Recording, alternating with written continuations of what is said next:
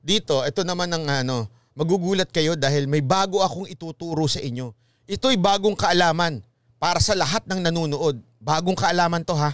Nabalitaan natin ngayong araw na may naitala na ng kaso ng Delta variant dito sa atin. Uh, isang bagay na dapat uh, paghandaan natin. Uh, dahil nakita natin yung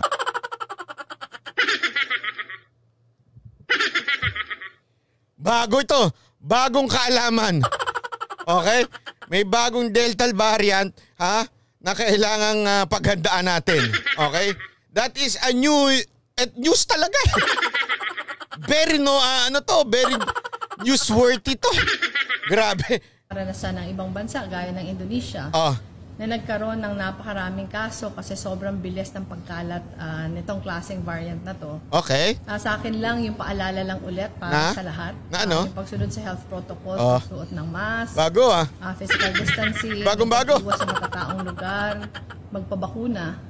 Uh, yung hindi pa nababakunahan, um, sana makapagpabakuna tayo. Yung nabakunahan na, sana hindi naman tayo masyadong kampante Uh, dahil alam natin na while um, nasasalba tayo from severe symptoms, uh, pwede pa din tayong hawa. So, sa... Madam, sana nag-vlog ka na lang. Hindi, totoo. Sana nag- nag-vlog ka na lang kasi bagay ka doon sa mga walang kwentang vlogger eh. Sensya na ha, pero totoo eh. And yung sa, sana yung ating ating deployment ng mga vaccines mas lalong bumilis, triple pa ng bilis. Uh, kami um, partner namin yung City of Manila. Sa, sa Andali, antayin natin. Baka naman meron siyang sasabihin na hindi pa natin alam. Ha? Antayin natin, baka meron siyang sasabihin na hindi natin alam. Sin Express, in fact, sa darating na Martes, magkakaroon ulit, magkakaroon ulit kami uh, with with the City of Manila. Pero yung sa akin lang, yung karanasan kasi namin, uh, lalo nahihikayat yung tao na magpabakuna pag, pag meron... Ayan na, ayan na. Baka malapit na. Meron na siguro siyang sasabihin na hindi pa natin alam. Sandali lang. Antay kayo, huwag kayong judgmental. Antay kayo, hintay nyo. Ito na, lalabas na yung sasabihin niya. Incentives na binibigay.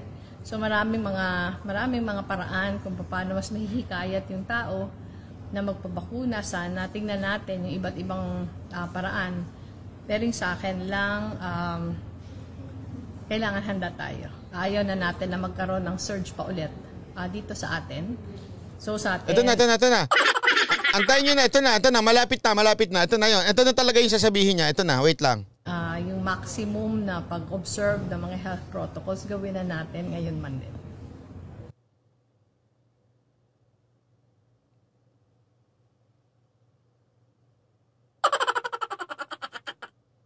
Asan na?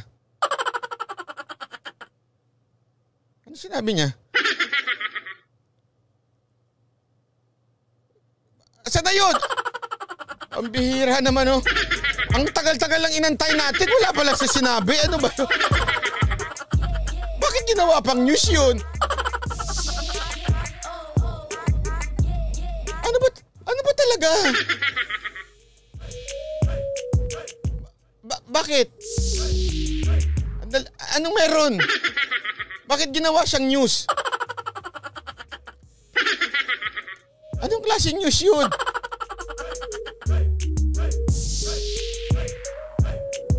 Ba bago ba yung sinabi niya? Ano ba yun? Hindi pa ba natin alam yung sinabi niya? Parang alam ko na eh. O ako lang nakakaalam. Baka hindi niyo pa alam. Kaya kailangan ibalita ng uh, News 5. Hindi niyo siguro alam na kailangan mag-ingat ano. Ah, oh, alam niyo na ba na meron ng Delta variant na kailangan mag-ingat tayo? So yung sinabi niya, kailangan natin mag-ingat kasi may Delta variant. Ano pa? Bakit ang haba nun? Hindi ko maintindihan ang haba nun eh. Ano sinabi niya? Mag-ingat kasi meron ng Delta variant. Pambihirang buhay ano. Anyari? Robredo, pakibalik naman yung oras na nawala sa akin. Sayang yung panahon na yun ha. Sayang yung panahon na yun. Sana kung may nagpakulay man lang. Wala eh. Irang buhay yan. Naubos yung oras natin dun ha. Sayang naman yun. Ang sa akin, ano, ang sa akin kasi, Ang sa akin, dapat mag-ingat tayo kasi meron ng ah, Delta variant. Ang sa akin, hugas, kamay.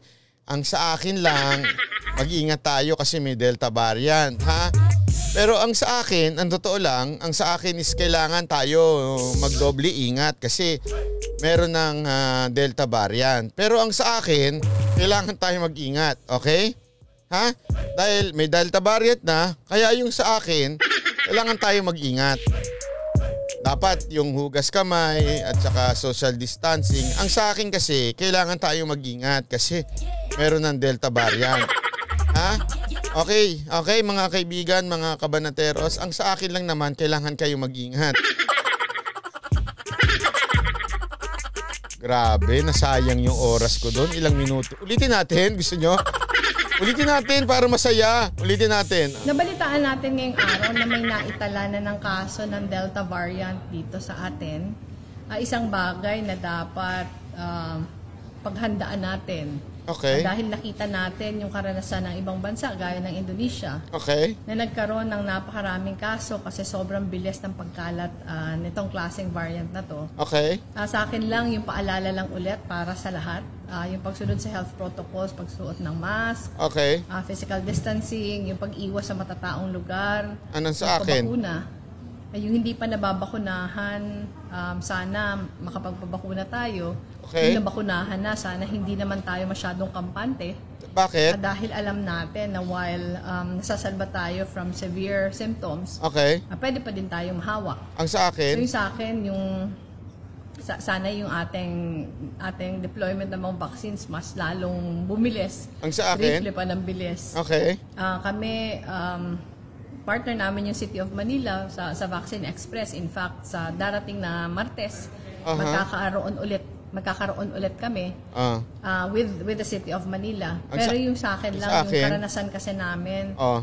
Ah, lalo nahihikayat yung tao na magpabakuna pag pag merong incentives na binibigay. Ah. So maraming mga maraming mga paraan kung Okay. paano mas mahihikayat yung tao Tapos, na magpabakuna. Sana tingnan natin yung iba't ibang ah, paraan. yang. Pero yung sa akin lang, Sa akin? um, kailangan handa tayo. Ayaw na natin na magkaroon ng surge pa ulit sa akin? sa atin. So sa atin, ah, yung maximum na pag-observe ng mga health protocols, gawin na natin ngayon man din.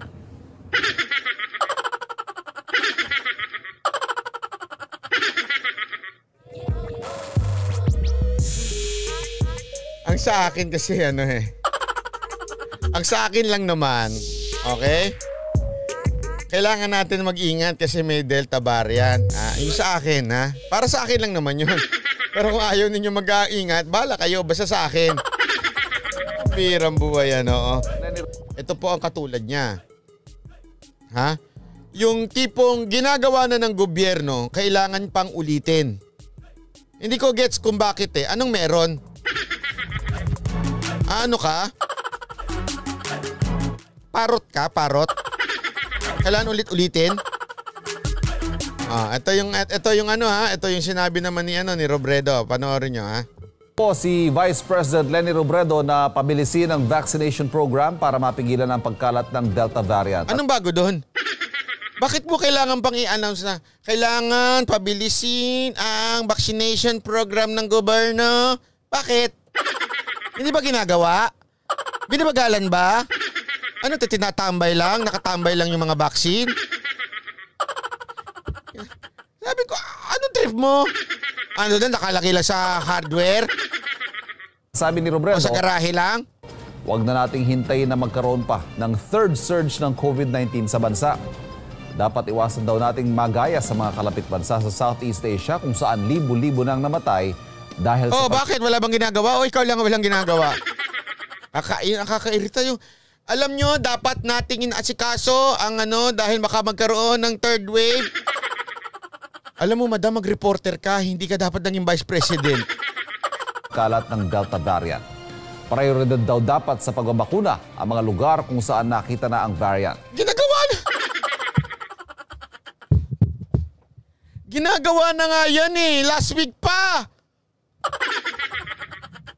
Sin in-announce na ni Sek Galvez yan. Pinag, pi- pinag-usapan na yan noong Monday last week ha. Hindi ito ngayon. Kayo kasi nag-meeting uli eh. Last Monday, pinag-usapan na yan. Pambihira, uulitin mo na naman. Ito, kalalabas lang nito nung weekend eh. Dapat din daw bigyan ng suporta ang Philippine Genome Center para mapaigting pa nila ang COVID-19 testing. the mere fact na meron na sa atin dito, maghanda tayo ng maayos. Maganda tayo ng maayos kasi pag nagka-third surge tayo um, na pareho ng Indonesia o Malaysia, Thailand, grabe ito. Para sa akin, dapat Parang there's something new sa sinabi niya, no? Pag tayo nagkaroon ng ah, third sur- search ng ano, grabe ito. Grabe ito mangyayari sa atin tulad sa Ind- Indonesia at sa India. Ha? Ah, yun na ho ba yun? May bago ho ba? I mean, meron ho bang ah, kadisko-discover? Ha? Ito naman GMA, ba't kailangan ibalita yan? May bago ba dyan? Hindi, yung totoo. May, meron bang... ah, is there something new sa sinabi niya, meron ba dapat tayong i-take doon na hindi ba natin ginagawa?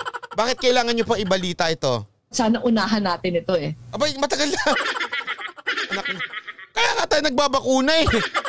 Binilisan natin yung bakuna, inuna natin... Inuna nga natin yung mga senior. Pati yung... Yung totoo, di ba? Hindi ba kayo nabibuisit? Kailangan unahan na at unahan natin. Aba, ano ginagawa natin? Min Hinuhuli natin. Kaya nga tayo nagbabakuna. Ano ba ginagawa sa bakuna? Anak naman na, oo. Ay, naku po, sabi ko nga, oh, ano ba ito si Robredo? Ang gusto kong sabihin, kahit may cases na dito sa atin, um, unahan natin ng baku- pagbabakuna Kahit may cases na, dapat unahan natin ng pagbabakuna.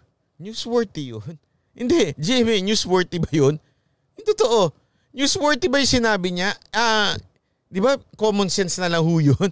Hindi na kailangan ig- igawing news. Anong ba? Is there something new sa kanyang news? Ah, baka naman masarap ang merienda.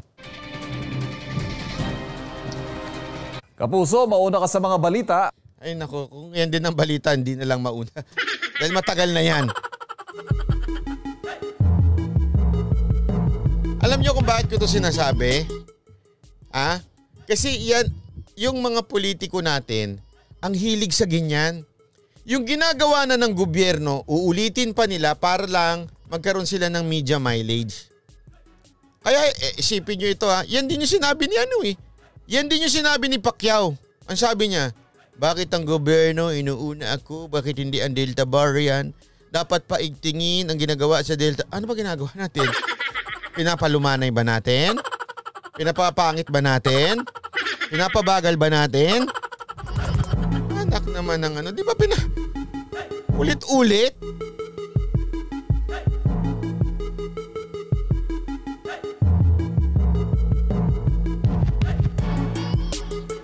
Ewan ko ba?